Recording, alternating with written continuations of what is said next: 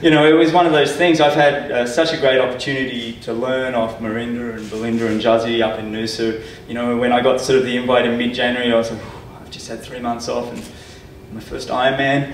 And like any sort of virgin, I want to perform on my first go around. Doesn't always work out that way, right? I'm going to be trying very hard. Let's put it that way.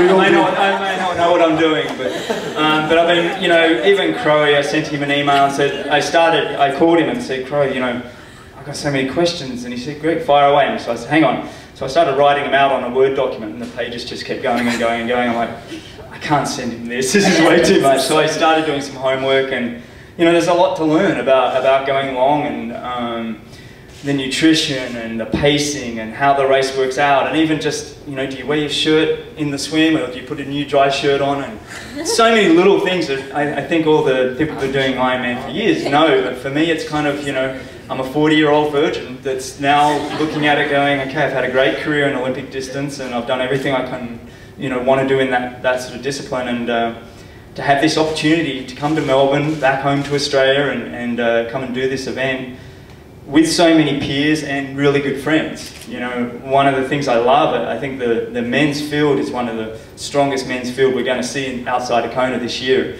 Um, for me, that's a great thing. It just means more people around me to sort of figure out what to do, and I'll be just trying to learn as I go. And um, I've already said to Crowie just earlier, you know, okay, don't leave me in the swim. I need to swim with you. I need to bike with you, and I, you're going to blow me away in the run at some point, but just let me run with you for a little bit, just so I can figure it out. And uh, it's really exciting, you know, and that's the beautiful thing about our sport. I remember coming here in the early 90s and the Tooheys Blue Grand Prix and the St George Grand Prix in St Kilda here, and we had Channel 10, and it was a really big event.